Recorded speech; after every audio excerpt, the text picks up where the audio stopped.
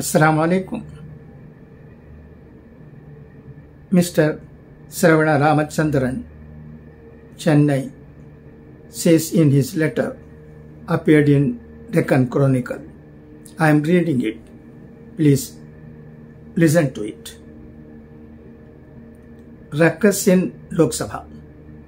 The opposition demanded a discussion on the NEET issue and irregularities in the exams conducted by the National Testing Agency NTA in Parliament.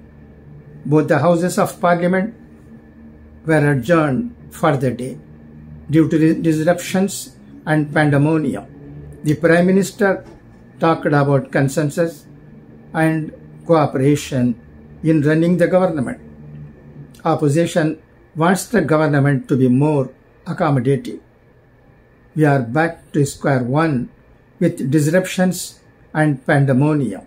Neither the BJP nor the opposition seems to have learned any lesson.